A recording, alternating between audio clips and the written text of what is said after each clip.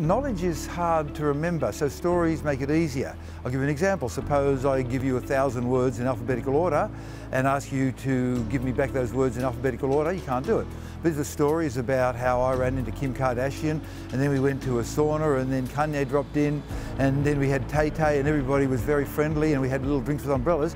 If I gave that to you as a story, you could give me that story back without having to remember the individual words. So a story is something that the human brain can so store as a single block of information.